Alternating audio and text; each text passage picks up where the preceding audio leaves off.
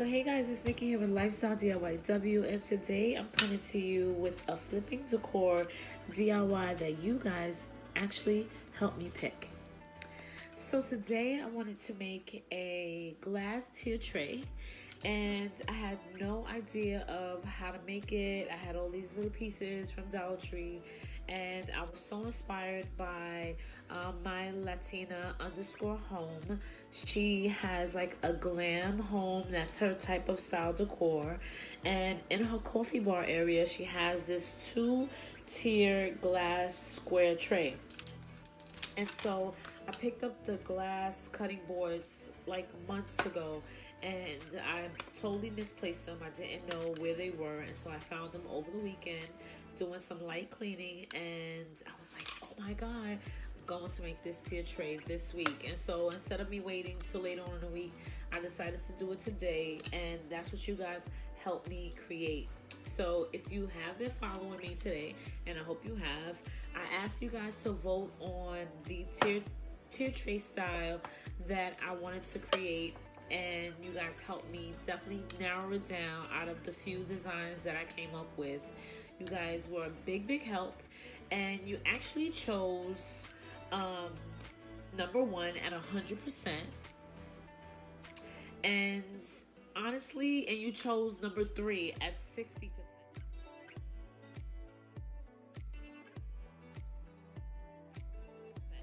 And actually, when I went over one and three, I was more um, drawn to number three only because it had several it had three layers and it had a bottom tier.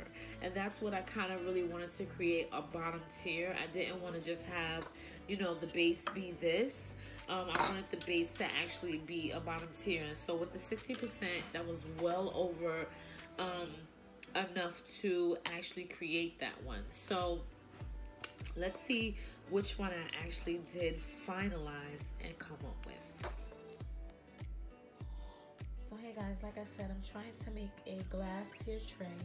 Um, even though I do a lot of farmhouse DIYs, um, there's certain parts of my house, like in my bedroom, that are like glam and glittery that I really don't even get a chance to show you guys. But I want to just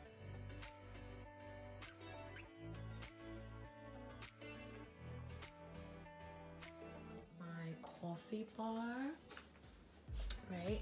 changing out all of this today, and I get rid of these dead flowers. They're dying. Um, but I definitely want to change out. Maybe not this, but I'm definitely changing out my coffee bar area. Um, you know, taking my DIY tray out of here. And I want to use a glass tier tray in this area, kind of just to, you know, give it a different look and a different feel. Um, so, and this is kind of the area where it's a little bit glitzy. Even though it looks farmhouse right now, this is the area that I usually like, you know, jazz up a little bit. Um, and so I want to make that tier tray. And I think it will look cute in that area. I can't have it too high because my cabinets come all the way down, but I do want it to be enough space to where a coffee cup can fit in here and, you know, little whatever, whatever. Um, so hey guys, let's get started with this DIY from Dollar Tree. I have wanted to make the tier tray for so long and all you need is E6000 and hot glue and sticks. I have two candlestick holders and you can make it as tall as you want. I also have this little glass, I guess you would call it ashtray from Dollar Tree. It came in a two pack, and I have three cutting boards, the glass ones from the Dollar Tree kitchen area. And the first thing, of course, you want to do is you want to open your glass trays. You want to take the plastic off as you see me doing here.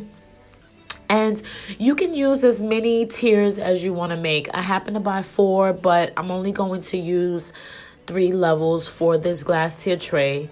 And I realized that once I was done, I actually could have made it four levels, but I thought that would have been a little bit too much. Like it was even cute um as a two a two tier level one as well. So I might make another one, but with the circle glass trays that I have on the other side of my kitchen. So stay tuned for that as well.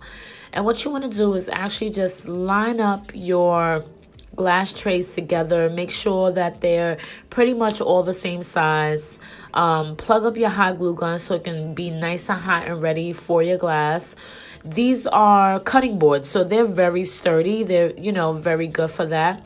And you want to make sure you line them up. I didn't have my ruler handy, so I just used two envelopes to kind of mark where the middle of the glass was. I didn't do it on each of them. Once I was able to mark one of the glasses, it was easy to, you know, make sure I found the middle of each one because I glue it as soon as I find the middle.